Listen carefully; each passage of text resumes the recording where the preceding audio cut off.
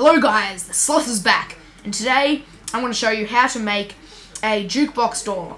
Basically what this is, is um only one record in the entire collection of 12 records opens the door. And this is um basically how this works is um you attach a comparator to the jukebox and different records send out different signal strength. So the maximum signal strength is 12 for the um, disc wait and any other disc will not um, reach the end of this circuit and get you know get around. So any other disc will fall short and won't do anything.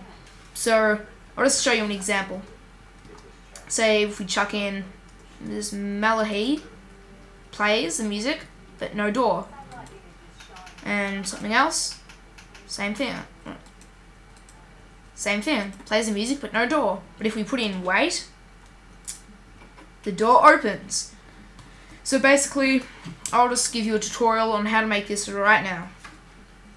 Okay, first get your jukebox, jukebox get a um, redstone comparator, the um, just the ones I added in 1.5, not a repeater, and place it going this way, going away from the um, jukebox. Wait, let me just change me um, go to short. This is a bit too laggy.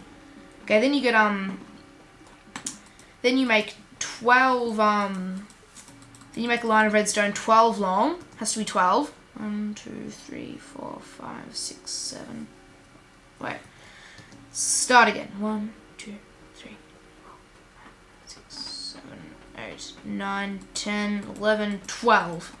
Then, at the end of that 12, put a um, redstone repeater just to keep the signal going so it doesn't die out. Then we um, link this back around and attach it to our iron door.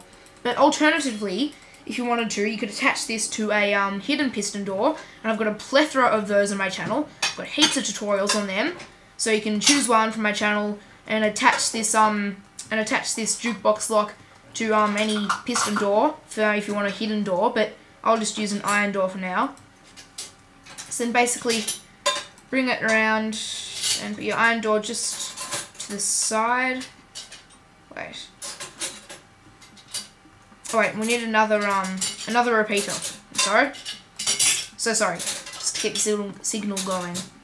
Chuck your iron door. Um chuck your iron door. This has to be one block down. Then you chuck your iron door in front of it. Wait. Aha! Aha, I've got it. Okay. So you just did one block down, put the redstone in that block, and then the block in front of that, put your iron door just right there, and block it all up with um, blocks or whatever. And so, only way they can open that is to by putting um the specific disc wait in the jukebox. Uh, that's all I've got for you today, guys. That was the tutorial. If you found it helpful, make sure to like and subscribe for more epic stuff from my channel. This is Dropsloth out. Hope you enjoyed, guys. See you later. Adios.